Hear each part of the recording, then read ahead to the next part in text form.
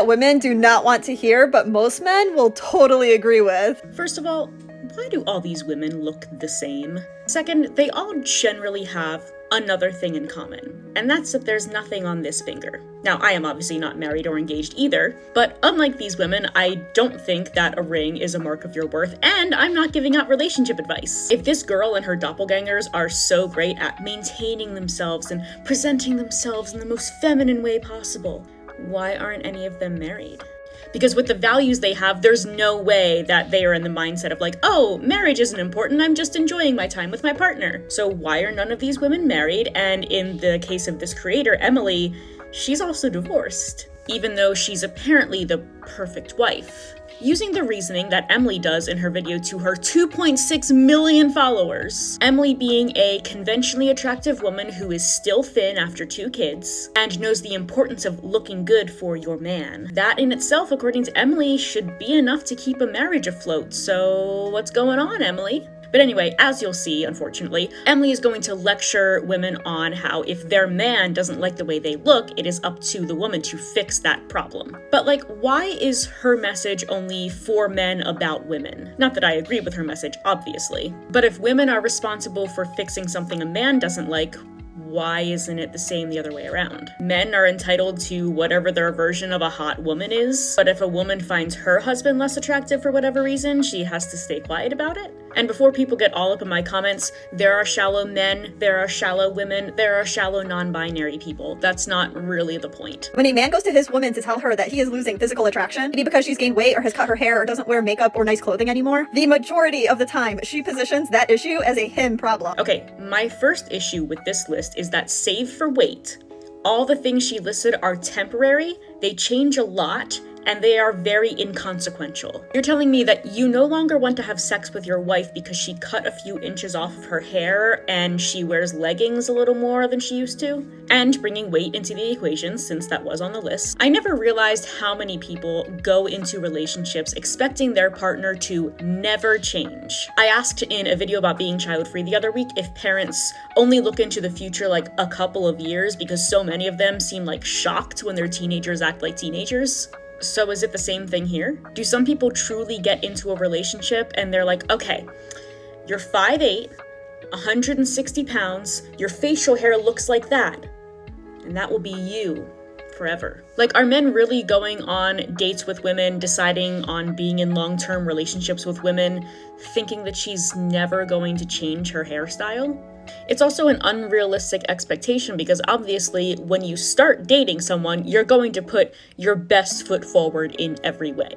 If you wear makeup, you're gonna make sure to wear makeup. If you do your hair, you're gonna make sure to do your hair. You're probably going to dress extra nice for a little bit. But once you've been in a relationship for a little while, you no longer feel the need to constantly try to impress your partner. And again, before people come in my comments and are like, oh, that's a sign of laziness. No, it's a sign of being comfortable around your partner. And as it turns out, that includes weight gain. It has been scientifically proven that the happier you are in your marriage, the more likely you are to gain weight. It is a legitimate biological sign that you are happy with the person that you're with and you are not planning on skipping off with someone else. And as far as makeup, clothes, hair, when you're more relaxed with someone, you're more lax about those things. Especially like once you're living with someone, do men expect women to sleep in their makeup and and like wake up with it perfect. And so sorry that on Saturday when I'm like chilling at home, I'm not wearing my ball gown. And this is multiplied by a factor of a thousand when kids are involved.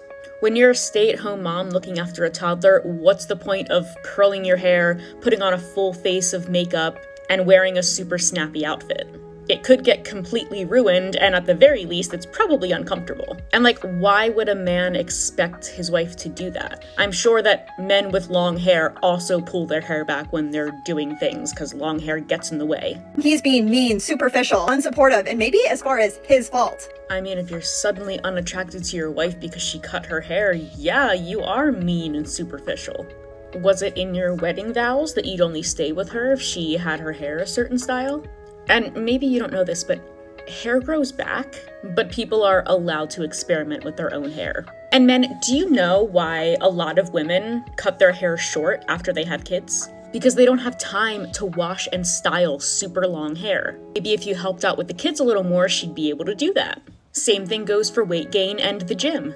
How is your wife, who pushed a baby out of her body for you, supposed to lose weight if she can't get to the gym and all she has to eat are the remnants of whatever your children didn't eat that afternoon? So, yeah, if you're an unsupportive partner, some of the things that you're complaining about are your fault. It is very rare, I don't think it ever happens, where a woman will actually take in that information and make changes to her lifestyle. Did she seriously say that it never happens that women try to better themselves after their husbands give them criticism? Are you fucking serious? And then Emily ends the video by saying that men, on the other hand, when they're given criticism by their partner, they immediately hop to it. They drop 30 pounds in like two days because that's how much they love their wives. I don't have stats on this, but I'm gonna say that plenty of men and plenty of women, when they get criticism from their partner, try to address what their partner's talking about.